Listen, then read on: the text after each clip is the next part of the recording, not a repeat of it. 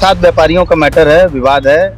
नगर पंचायत एक तरीके से मनमाना सात व्यापारियों के पेट पर लात मारते हुए एक व्यक्ति को लाभ पहुँचा रहा है जो कि कहीं ना कहीं मानवता को शर्मसार आपने किन तथ्यों के आधार पर उसको रास्ते को बंद करने का अधिकार प्राप्त कर लिया है?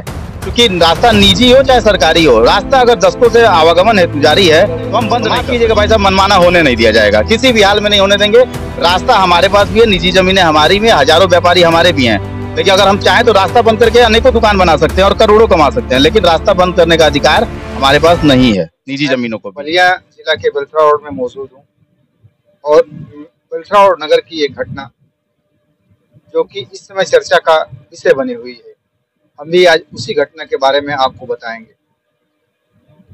तस्वीरों के में आपके सामने जो दृश्य चल रहा है, यह बेलथरा रोड हॉस्पिटल और पुलिस चौकी के बीच का जो है दृश्य है और पास में ही जो है स्टेट बैंक, सेंट्रल बैंक और बड़ौदा बैंक का कैंपस है। जो सीढ़ी आप देख रहे हैं, वहाँ से लोग कैंपस में जो है प्रवेश करते हैं और एक बीच में जो आप रास्ता देख पा रहे हैं, जो आठ फुट का रास्ता है, राहुल मेडिकल स्टोर भी आपने देखा है। राहुल मेडिकल स्टोर के बगल से वो रास्ता जाता है।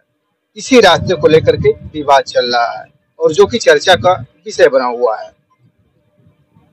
कल चूँकि हम लोग जब तहसील में मौजूद थे तो उस समय नगर के व्यापारी जो पूर्व चेयरमैन प्रत्याशी जो भानु नारायण है, उनके पति प्रवीण नारायण जी के साथ तहसील में मौजूद थे।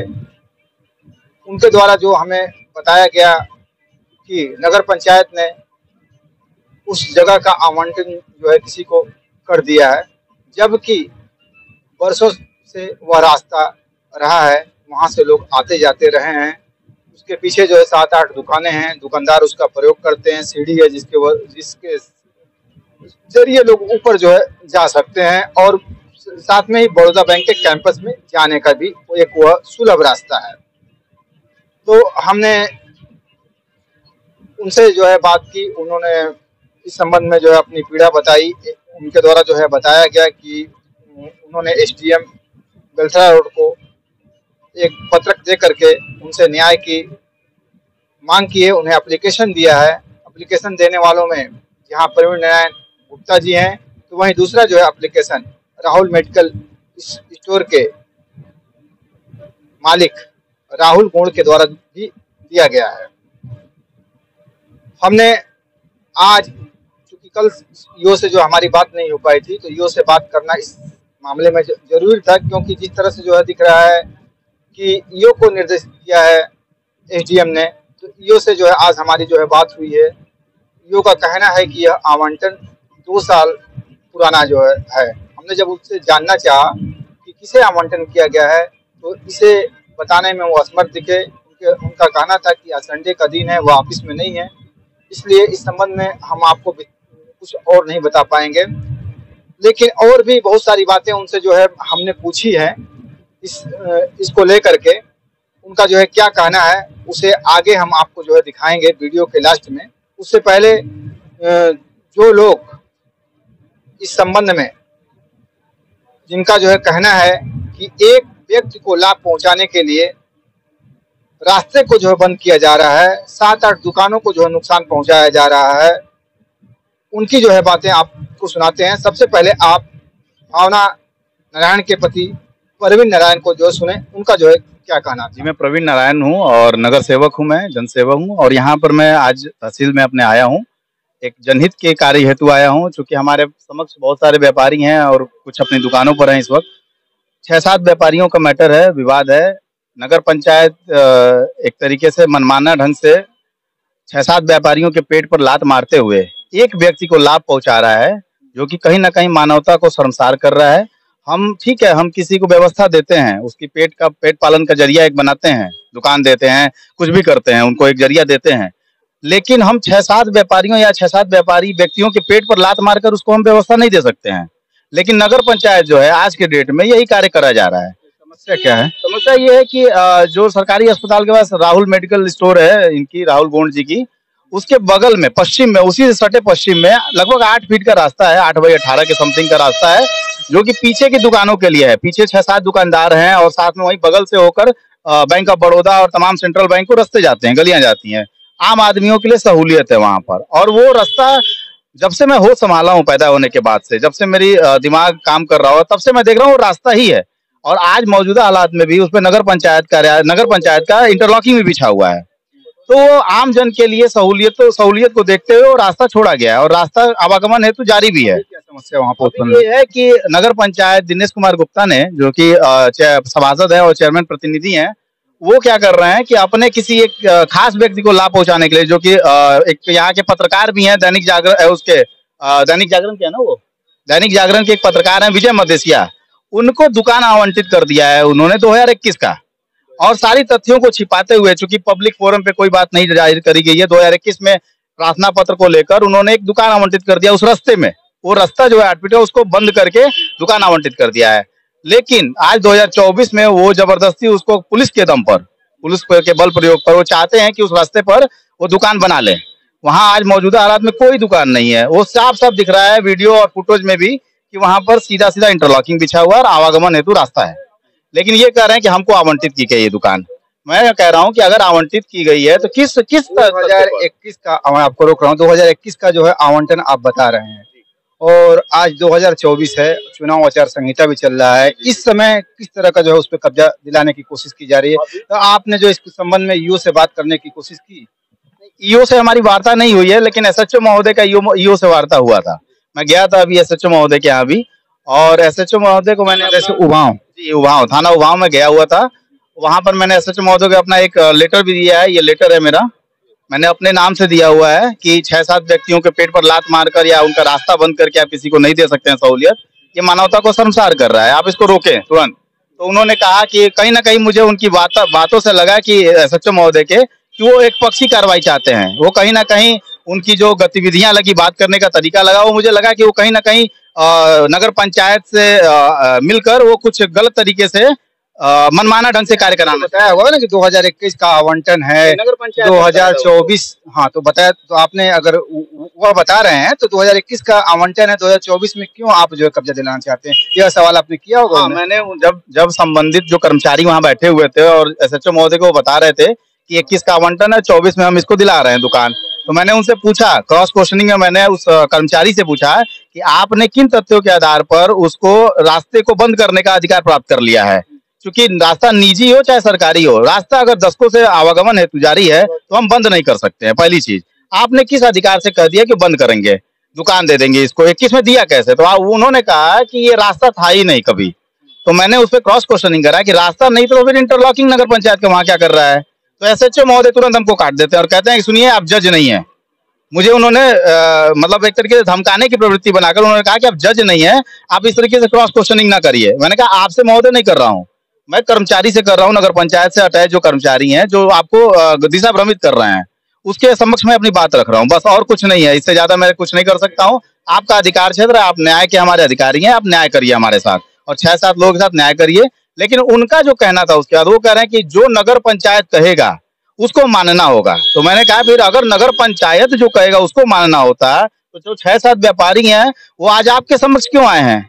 न्याय की उम्मीद लेकर ही तो आए होंगे आपके समक्ष। नगर पंचायत ऑलरेडी इक्कीस में आवंटन कर चुका है मनमाने ढंग से। तो उनको न्याय हेतु आना पड़ा आपके पास। और आप कह रहे हैं कि जो नगर पंचायत कहेगा, वही हम मानेंगे। तो फिर न्याय रह कहाँ गया? ये तो मनमाना आप कह रहे हैं कि हम वही कराएँगे। तो माफ़ कीजिएगा भाई साहब मनमाना होने नहीं दिया जाएगा। किसी भी हाल में नहीं होने देंगे। रास्ता हमारे पास भी है निजी जमीनें हमारी भी हैं, हज़ारों व्यापारी हमारे भी हैं। लेकिन अगर हम चाहें तो रास्ता बंद करके अनेकों दुकान बना सकते हैं और करोड़ों कमा सकते हैं लेकिन रास्ता बंद करने का अधिकार हमारे पास नहीं है निजी जमीनों को भी। तो फिर किस प्रकार से नगर पंचायत रास्ता बंद कर रहा है? और वो कह रहा है नगर पंचायत की वहाँ रास्ता था ही नहीं। अगर रास्ता नहीं था तो अगल बगल के व्यापारी जो है वो क्या बताएँगे?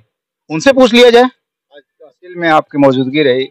आपने इस संबंध में एसडीएम साहब से जानकारी में जो मामला है लाया। आपको मैंने बिल्कुल अभी एसडीएम साहब के पास मैं आया था अपना एप्लीकेशन प्रार्थना पत्र देने क्योंकि अब एसडीएम साहब चुनाव में व्यस्त हैं और बलिया गए हुए हैं पता नहीं देर सवेर रात आए वो जो भी आए तो मेरी वार्ता हुई फ़ोन से मैंने। पर्सनली उनसे डायरेक्ट लाइन पे बात की और उन्होंने संतुष्टि भरा जवाब दिया मुझे अपने स्टेनो से रिसीव करने को कहा। मैंने स्टेनो अजय जी को मैंने अपना कॉपी दे दिया है और उन्होंने मुझे भरोसा दिया है कि उचित कार्रवाई करेंगे। एसडीएम साहब ने मुझे पूर्ण भरोसा दिया है कि मानवता को संसार नहीं होने दिया जाएगा। छह सात व्यापारियों के पेट पर लात नहीं मारी जाएगी एक व्यक्ति को लाभ देने के लिए। जी उन्होंने कहा मेरा नाम राहुल कुमार है। सरकारी अस्पताल के जस्ट बगल में मेरी दवा की दुकान है राहुल मेडिकल स्टोर के नाम से। जी। अ, मैं बचपन से ही अपने दुकान से जस्ट बगल की जो स्पेस है मैं बचपन से ही उस चीज़ों को देख रहा हूँ। पहले मट्टी का हुआ करता था। कुछ साल पहले इंटरलॉकिंग ईटे का हुआ करता था। आज सीमेंट का इंटरलॉकिंग आज दस सालों से मैं देख रहा हूँ। इंटरलॉकिंग किसने कराया? आपने कराया था? इंटरलॉकिंग जो है दिनेश चेयरमैन जी के द्वारा पंचायत के द्वारा किया कराया गया था। जी। तो उसको कल हम लोगों को सूचना मिली कि आज साढ़े नौ दस बजे के आसपास में इसको कब्जा किया जाएगा। तो ज, जैसे हम लोग को सूचना मिली तुरंत हम लोगों ने एप्लीकेशन लिख करके जनहित में सीधे एडीएम महोदय को रिसीव कराया। कल रात आठ बजे के आसपास में। फिर यहाँ से हम लोगों ने वहाँ इंस्पेक्टर महोदय, सचो साहब को भी हम लोगों ने अप्लीकेशन दिया। उसके पहले इन लोगों ने हम लोगों के खिलाफ अनावश्यक तरीके से अप्लीकेशन दे चुके थे ये बाउंड्री नहीं होने दे रहे हैं, कब्जा नहीं होने दे रहे हैं, गुंडई दिखा रहे हैं, इस तरह का प्रकरण। क्योंकि उनका कथन ये भी था कि हमारी पहले से गुमटी वहाँ है और जिसकी मरम्मत करानी है। वहाँ ऑलरेडी इंटरलॉकिंग है। जब इंटरलॉकिंग है तो मरम्मत किस चीज़ की अब कराएँगे? घूमती है ही नहीं वहाँ। जैसे क्या है हाँ। कि उन्होंने जो एप्लीकेशन दिया था विजय मदेसिया ने उन्होंने लिखा था कि हमारी वहाँ गुमटी आवंटित है और मैं उसके मरम्मत हेतु जब गया तो वहाँ राहुल गोंड जी ने और एक और व्यक्तियों का नाम ले उन्होंने कहा कि उसको गुंडई के दम पर रोकने की कोशिश करी। मेरा सवाल ये है उस क्रॉस क्वेश्चनिंग में कि अगर आपको गुमटी गुमटी आवंटित है वहाँ पर तो वहाँ गुमटी होनी चाहिए ना? वहाँ तो मौजूदा इंटरलॉकिंग वाला रास्ता है और यह इंटरलॉकिंग प्रमाण दे रहा है कि हम रास्ता है। अब कैसा बताएगा रास्ता कि मैं प्रमाण दे रहा हूँ? साथ ही उन्होंने कहा कि मैं मरम्मत कराने गया था। एक बात बताइए, मरम्मत उन चीज़ों का होता है जो मौजूदा हालात में हो। अगर गुमटी वहाँ होती तब तो हम मरम्मत कराते। मरम्मत कभी भी नहीं होता है अगर वहाँ सब कुछ क्लियर है तो। मरम्मत भवन का हो सकता है, दुकान का हो सकता है, लेकिन होना तो चाहिए। वहाँ तो कुछ भी नहीं आप मौके पर आप गए होंगे, देखेंगे कि वहाँ पूर्णतः एक रास्ता है वो। आवागमन हेतु जारी भी है। लेकिन ये कहीं ना कहीं दिशा भ्रमित करके या अपने शक्ति का दुरुपयोग करके, चूँकि वो पत्रकार भी हैं आप ही की तरह, और हो सकता है कि वो अपने शक्ति का दुरुपयोग करें। उनके साथ नगर पंचायत के अध्यक्ष जो प्रतिनिधि हैं दिनेश कुमार गुप्ता, वो भी सत्ता का दुरुपयोग करना चाह रहे हैं। लेकिन मैं आश्वासन देता हूँ कि सरकार जो है हमारी, ये बिल्कुल भी भ्रष्टाचार विरोधी है। भ्रष्टाचार होने नहीं देगी, कब्जा होने नहीं देगी। और मैं बिल्कुल राहुल जी के साथ नहीं, सारे व्यापारियों के साथ खड़ा हूँ, एक जनसेवक के रूप में, हमेशा रहूँगा। आपने दोनों लोगों को सुन लिया। दोनों लोगों का यह कहना है कि हर हाल में वहाँ किसी तरह की कोई दुकान की आवंटन नहीं होना चाहिए। और न ही वहाँ कभी कोई दुकान थी न ही अब जो है वहाँ दुकान बननी चाहिए। तो इस संबंध में जब हमने ईओ से जो है फ़ोन पे वार्ता की तो आपको बताया ही कि छुट्टी की वजह से ईओ साहब मौजूद नहीं थे जिससे उनको अ, सामने आमने सामने उनसे बात हो सके उनका जो है आपको पक्ष जो मैं दिखा पाता, उनकी बाइट ले पाता। लेकिन उनके द्वारा जो बताया गया कि दो साल जो है पहले यह दुकान आवंटित हुई हुई है और रहा सवाल जो वहाँ दुकान इस समय किसी तरह का निर्माण करने का तो आचार संहिता लागू है तो वहाँ किसी तरह का जो है निर्माण नहीं हो सकता है। और यह भी बताया गया कि एसडीएम साहब के द्वारा उन्हें और एस उभाव को निरसित किया गया है तो सोमवार को वह आएँगे और वह जो है इस स्थल का जो निरीक्षण करेंगे। हमने जब उनसे जो है यह जानकारी ली कि शिकायतकर्ता का जो है कहना है कि वह जो है रास्ता है, वहाँ नगर पंचायत की इंटरलॉकिंग की गई है तो उनका जो है साफ़ तौर से जो है कहना था कि अगर रास्ता है, यह साबित होता है तो वहाँ किसी तरह का निर्माण नहीं किया जाएगा। अब देखना होगा कि सोमवार को जब एस एच और ईओ आते हैं, अधिशासी अधिकारी बेलथरा रोड तो उनके द्वारा उस जाँच की बात, क्या बात जो है सामने निकल करके आती है? अगर हमें कुछ जानकारी मिलती है तो हम आपको ज़रूर बताने की कोशिश करेंगे। लेकिन हम दर्शकों से यह भी गुजारिश करेंगे कि आप में से अधिकतर दर्शक वहाँ से जो गुजरते रहे होंगे, आते जाते रहे होंगे और वीडियो में आप उस जगह को देख पा रहे हैं, आपको क्या लगता है कि क्या किसी एक व्यक्ति को निजी लाभ के लिए वह जगह आवंटित करना सही है। दूसरा सवाल यह पहुँचता है कि अगर यह कई साल पहले जो आवंटन हुआ था तो आज उस पर जो कब्जा दिलाने की ज़रूरत क्यों पड़ी है? इस, इतने दिनों तक जिसको आवंटित हुआ था, वह व्यक्ति कहाँ थे? इन सब सवालों का जवाब हमें कमेंट करके आप ज़रूर बताएँ। भारत मीडिया के लिए ओपी सिंह के साथ सब्बीर अहमद की रिपोर्ट, बने रहे भारत मीडिया के साथ।